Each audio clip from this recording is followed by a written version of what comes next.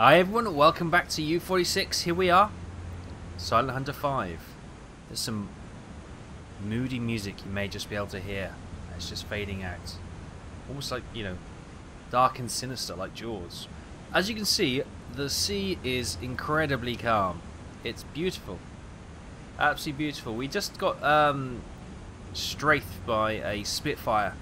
Caused a little bit of a little bit of uh, scratching to the paintwork, but nothing really when it comes to damage. We're still at 90%.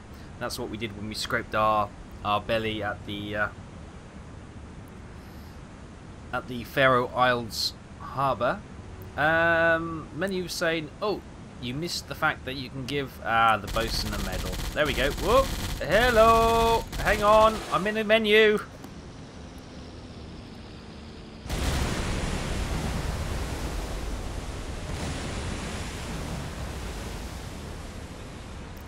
Wow. Okay. Enough. You've had your moment. Wow. Good shooting, guys. Did they get that? Uh, no. okay, it was. They did fire at it, but it just uh, lost control and crashed. Wow. Did we take any damage while we are in there? No, we didn't. Anyway, long short of that, the bosun now has a medal. His morale has not is not that great actually, but um, all our officers are now um, sorted with an iron cross, which is pretty good. We have a full load of torpedoes. Where are we going, I hear you cry? Make sure there's no other um, enemies in the vicinity.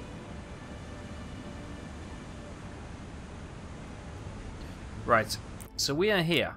We're coming past Rotterdam now. Uh, it is May 31st, 1940. Uh, and many people have said, why don't you head down to Dunkirk? Obviously, the uh, evacuation from the beach of Dunkirk uh, was from the 27th of May to the 4th of June 1940.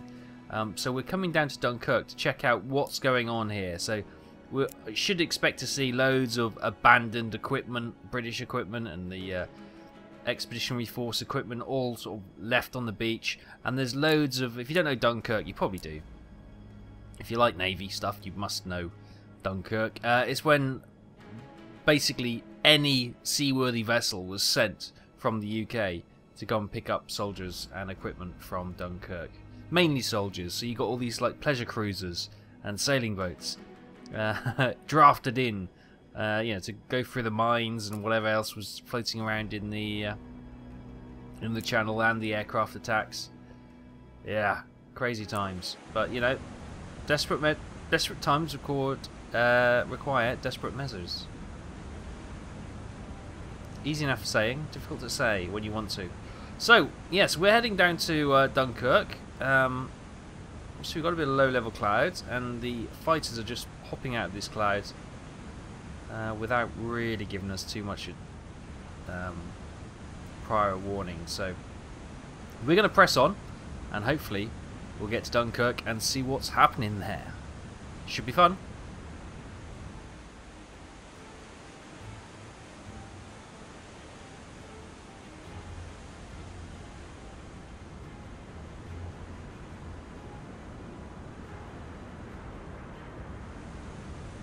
Hi everyone, welcome back. We have made Dunkirk.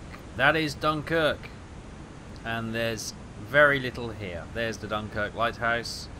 Um, there are two ships, but they're Belgian, I think, looking at the uh, the flags. So uh, yeah, and they're showing up as friendlies.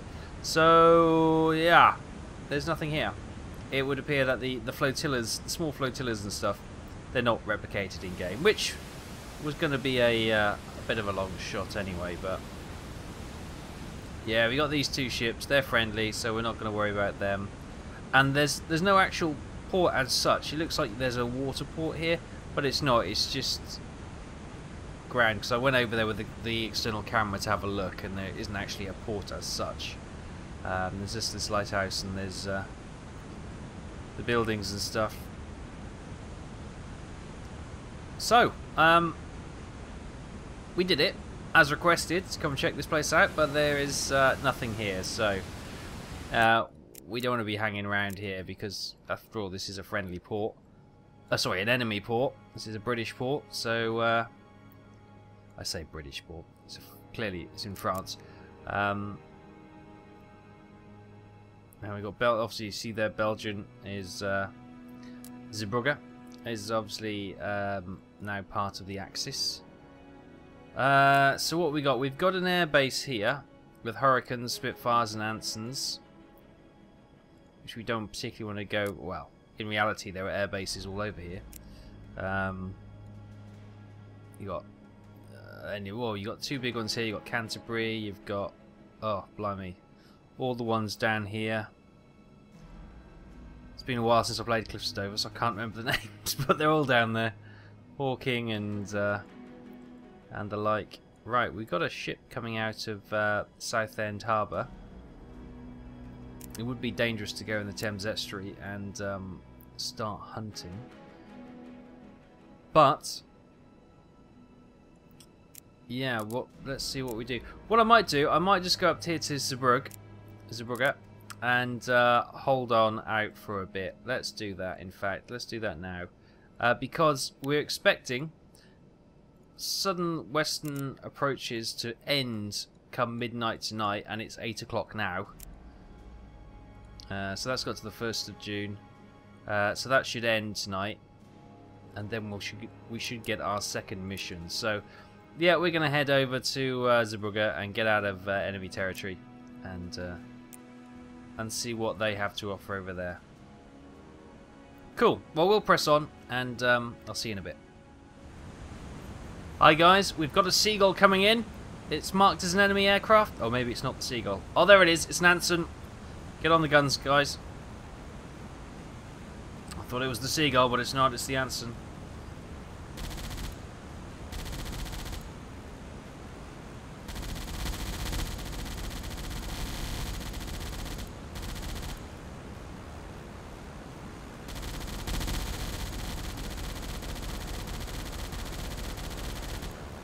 Here she comes.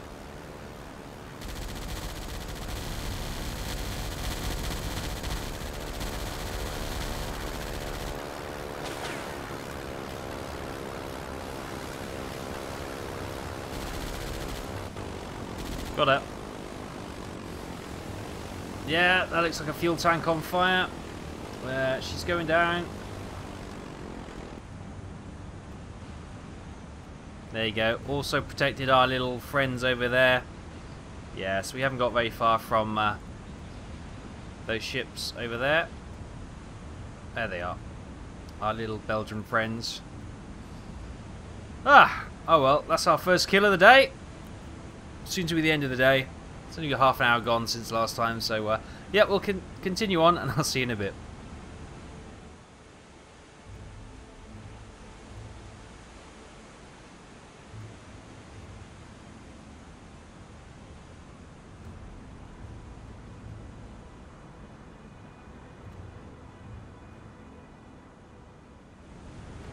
Hi everyone, welcome back. We have a British freighter. So, what we're doing, I hear you ask? Well, we are making our way, we're just going to come around here, then come back into base, because it's come to June the 1st now, and we've got no new missions. So, um, ooh, got another ship there. We're just going to see if we can't pick off a few more ships and um, and call it a day. So let's just start to close in on this one.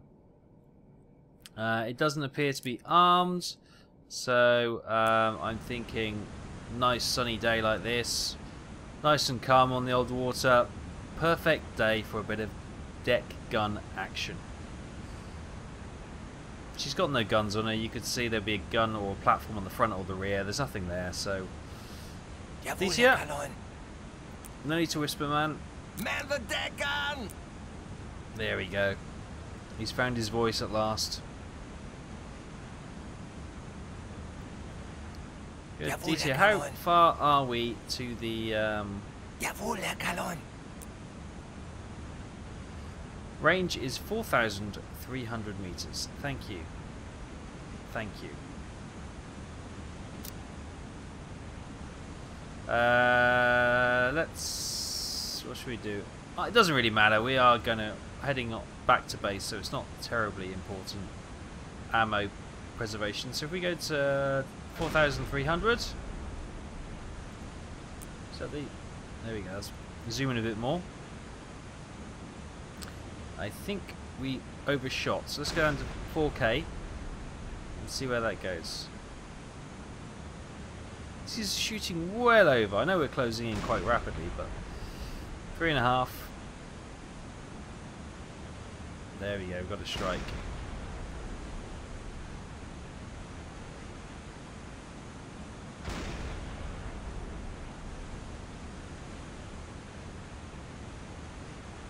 Boom!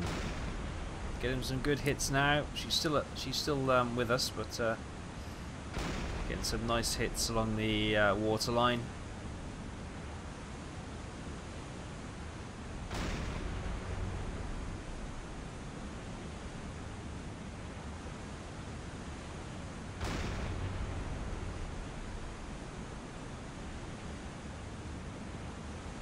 Boom, boom, boom, boom, pop, pop, boom. Lovely. I think we need to shorten the range.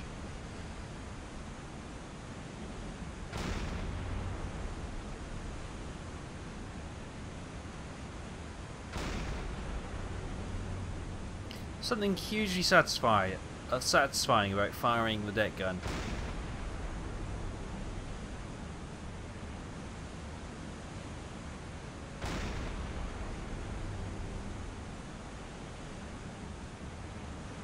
See where we're landing these shots now. They're obviously having good effects, in loads of explosions. Down by the waterline, that one. Right on the waterline, lovely. Let's get some shots towards the propellers and the rudder.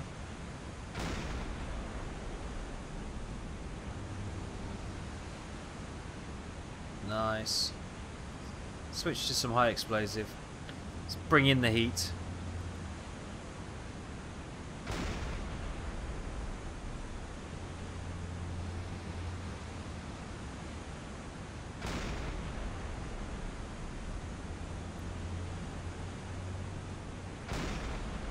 Keep pouring on the pain. This will get her eventually. She can't be long for this world. A couple of shots into the into the bridge.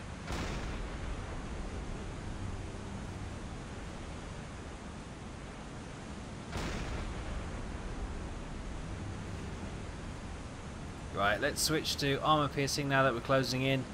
Put a few more holes in the waterline and uh, hopefully encourage her to sink to the bottom. Nice.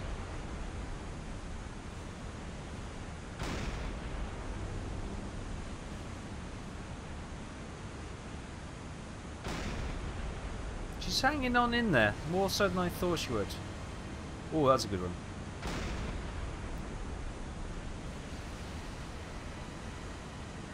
Go on, these are good hits now.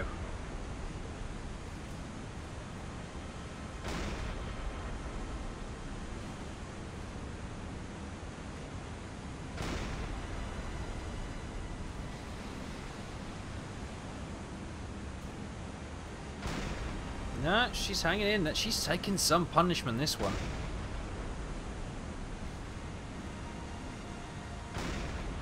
Goodness me.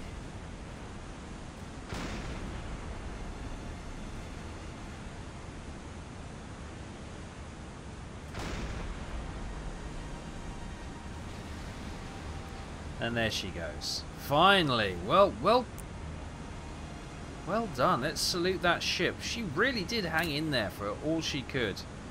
Uh, but she has finally succumbed to our pounding of the guns. We still have our uh, flak guys uh, covering the ship. Look at her burn. Blooming heck. Let's go and rescue some survivors because that was quite brutal actually. Quite brutal indeed. It was a Hog Island freighter for 4,100 tons. Uh, return to base. Okay, we, we are returning to base, don't worry. So that's um, 1,360 tons of warships and 17,222 tons of merchant tonnage. 18,582 and six ships sunk, one aircraft destroyed. That's not bad just to try and pass the time until uh, the next mission. Um, yeah, we got some crew there, so we're going to help them out. So we're going to press on, and I'll see you in a little while.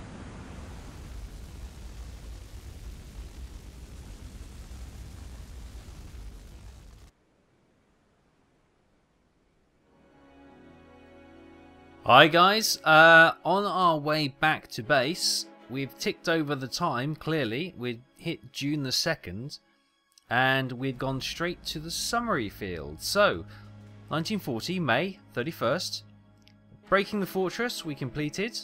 Uh, Operation Weslebergenberg, we failed that one, that's the one we just could not find those ships. Uh, southwestern approaches we completed, northwestern approaches we completed, Eastern British coastal waters we completed, and Baltic operations we completed.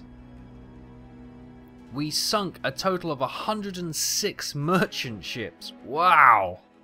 S uh, nine warships for a total of 660,809 tons. That's pretty good. That's pretty damn good. Uh, we got an ace rating.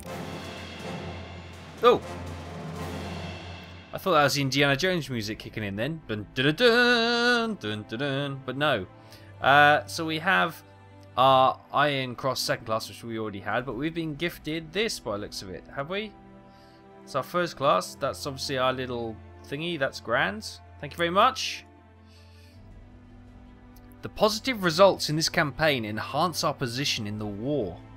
The enemy is not defeated yet, and they will certainly adapt and come back to the battle with new weapons and tactics. Wow, look at this. This is gorgeous. Oh, we've completed that, that mission. Or we've completed that campaign. Oh, look at that. Coastal Waters campaign. All done. Sweet. And look at the campaigns we have yet to do. So we're going to go on to Happier Times. And then it looks like we can go either one, one or two ways. Maybe go there, there, there, there, and there, or there, there, there, there, or there, or we could, yeah, wow. Wow, well, we'll, we'll, we'll make that decision when we come to it. We now have Happy Times. Happy Times, 15th of June, 1940, to the 1st of March, 1941. Following the fall of France, Britain is alone. Now the U-boats have gained direct access to the Atlantic. The French bases put us 450 miles closer to the vital shipping lines that we are aiming for. This opens up new and more profitable hunting grounds, farther from the British can afford to escort their convoys, and also allows us to stay longer times on patrol. We are entering a new phase of the war at sea. Sweet. Okay, let's start that game. Welcome back to the dock, guys. We've been teleported back to the dock, obviously to start a new mission. The guys are just fidgeting around. Uh, we seem to have lost our camouflage. And in fact, it all seems to be in this weird misty hue. Maybe it's just the light coming in. Anyway, let's check on what we can do. See if there's anything more we can upgrade our ship with. Herr Kaleun. Kaleun. Oh no, there's nothing we can do. Okay. Fair enough. Let's have a word with old Hans George Weber. Welcome back, Herr Kaleun. Thank you very much. Uh, let's find out what our mission orders are, shall we? Congratulations, Captain. I'm sure the British War Thank you. Cabinet is debating your performance as we speak. With the success sure of our are. blitzkrieg through France, we have gained access to strategically important bases with direct access to the North Atlantic. This means our U-boats can now reach Uh, British supply lines beyond the Why do the ports in escort. France still appear to be To allied? then? capitalize on this development, we are redeploying our front boats. Effective immediately, you have been transferred to the second flotilla based out of Lorient.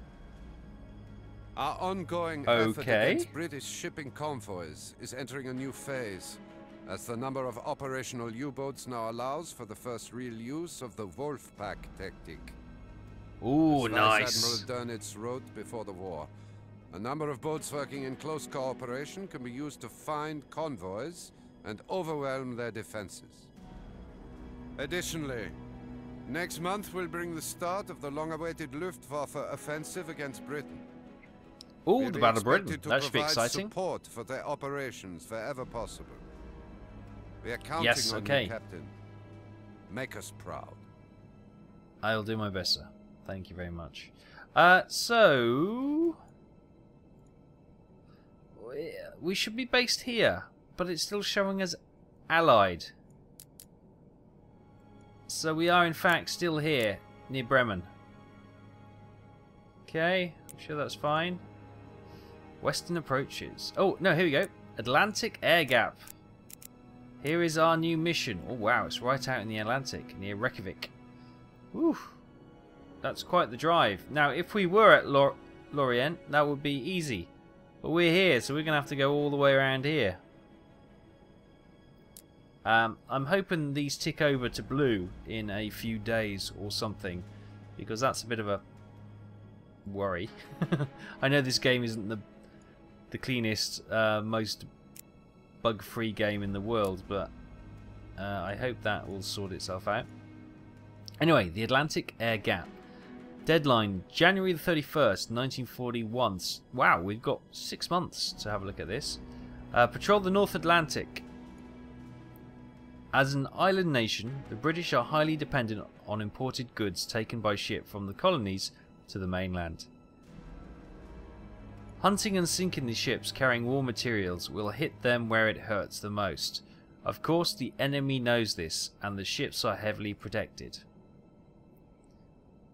Often placed in the middle of convoys, U-boats operations in the mid-Atlantic will give us an opportunity to attack without the threat from the coastal air cover. Now that would be sweet.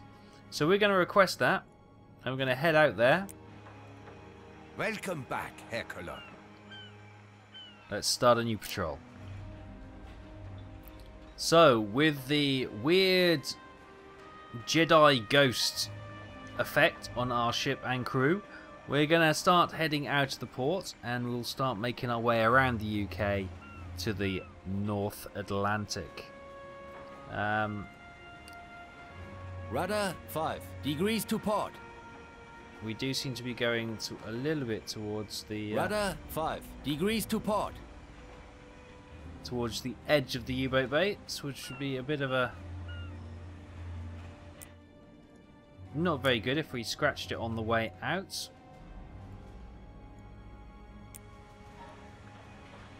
Submarine sighted. Ooh. It's one of ours. Bearing 249. We're incredibly close here, guys. My goodness me. Oh, if you'd have scratched the new paint. Bearing 241. Oh, look at this. Beautiful. We're in we're in June now. Weather is nice. It's nice and sunny. We've got these ships. Look at them. We've got the big capital ship still there. Lovely. Right, we're going to press on.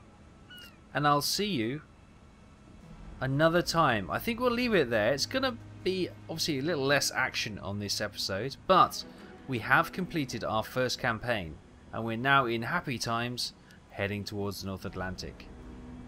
So, I hope you have enjoyed it, although it hasn't been 324. as action packed as we usually see. Um, but it has been an interesting one. We certainly have uh, progressed the storyline and the, uh, the the timeline along quite nicely. Uh, and it's nice to get that first campaign completed. I'm sure you'll agree.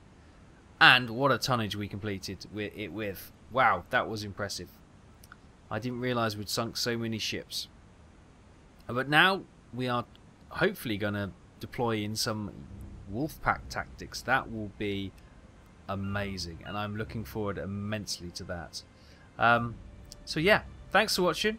I hope you continue to enjoy the series, and I'll see you next time in U46 Silent Hunter 5. I'll see you then.